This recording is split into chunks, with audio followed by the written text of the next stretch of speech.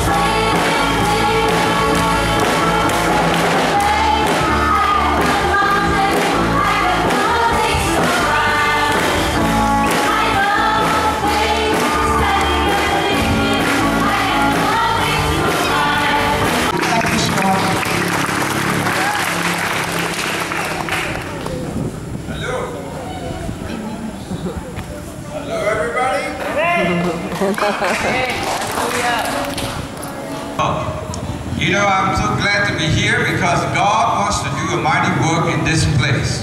Kaya siya ay pinagpala na siya ay narito dahil gusto ng Diyos na gumawa ng malaking kababalaghan dito sa lugar na ito ngayong gabi.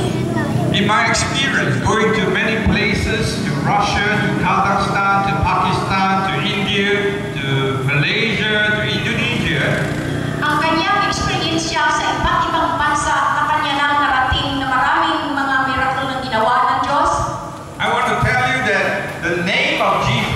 is higher than any other name. I feel there are some of you, you have been mentally tortured.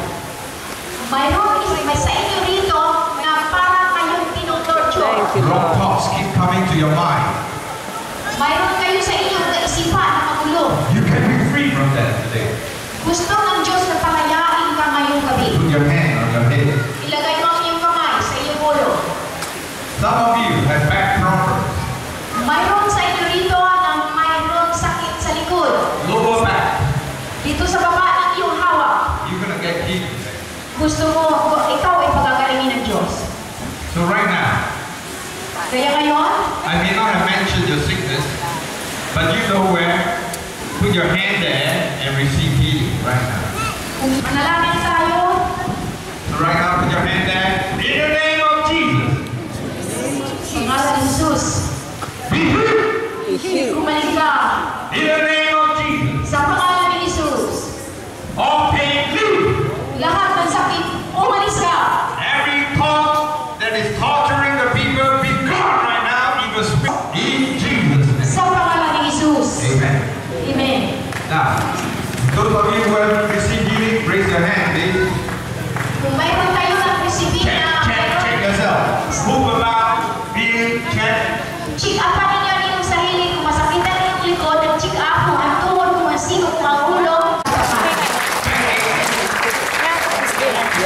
Oké, okay,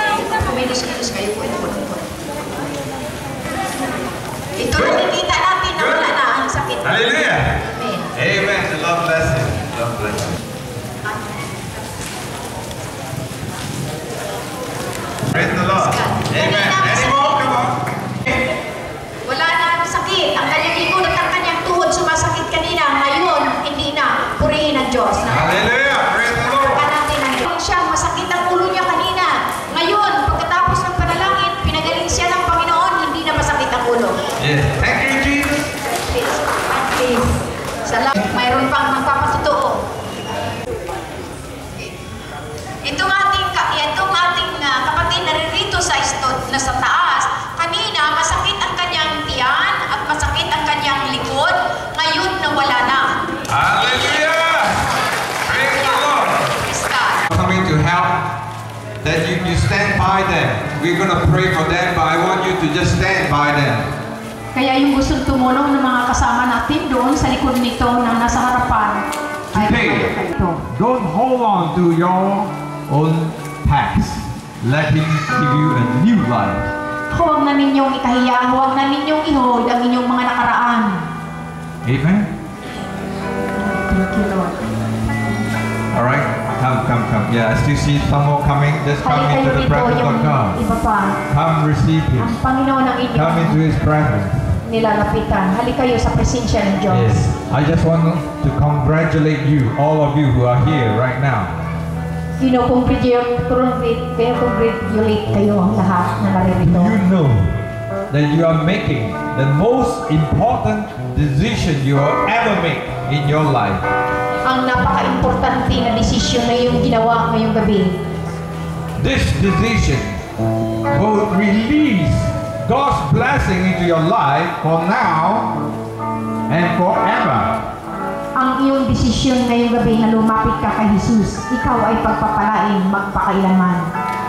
So I would like every eye to close right now and just Kaya talk to pikit ka God. ang inyong mga mata ngayon We are going to talk to God. o hindi. Panginoong Jesus, ikaw ngayon ang pinipili kong Diyos simula sa gabi ito. Salamat sa iyong pagmamahal. Ako ngayon ay lumalapit.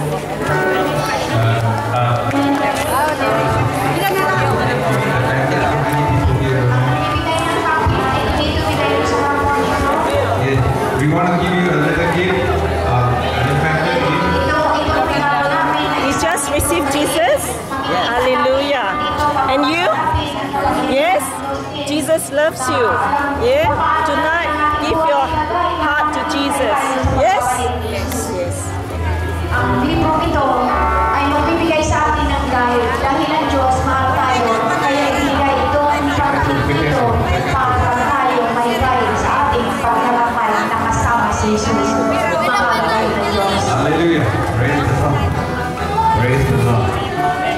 Praise the Lord. Kaya ang